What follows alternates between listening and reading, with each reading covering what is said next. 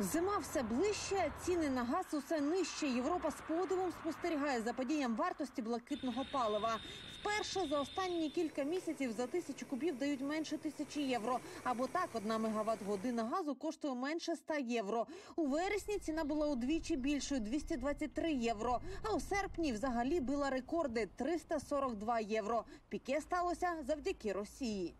Морози вдарять, Європа замерзне і приповзе просити газу. Такі погрози європейці чули із Кремля усе літо і спостерігали, як Росія, вигадуючи різні причини, зупиняла транспортування блакитного палива до ЄС. Слухали, спостерігали і готувалися до зими без російського газу. І, врешті-решт, впоралися навіть краще ніж планували.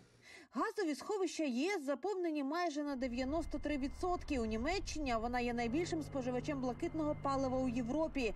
Цей показник перевищив 96%.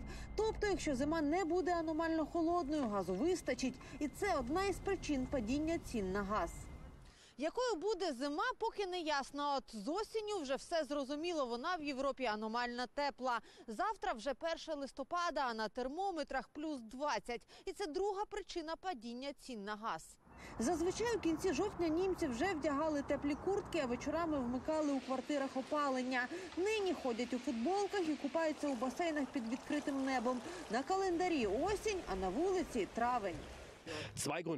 Таку теплу погоду зумовлюють два фактори. Ми, в принципі, спостерігаємо підвищення температур через зміни клімату, але річ не тільки в цьому. У нас зараз незвичайна ситуація.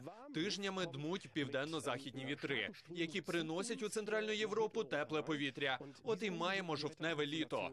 І нарешті третя і остання причина падіння цін на газ це економія. Готуючись до зими, європейські країни суттєво скоротили споживання газу в середньому по ЄС на 15%. Серед лідерів із заощадливості Швеція, Нідерланди та Німеччина. Ми бачимо суттєве падіння цін на газ. Це сильний сигнал для ринків, і в середньостроковій перспективі це хороша новина для споживачів. У своїх рахунках нинішнє падіння цін німці не відчують, бо паливо, яким вони користуються, постачальники закуповували за довгостроковими угодами і за вищими цінами. Тетяна Логунович, Слав Фролов, подробиці німецьке бюро телеканалу Інтермарафон. Єдині новини.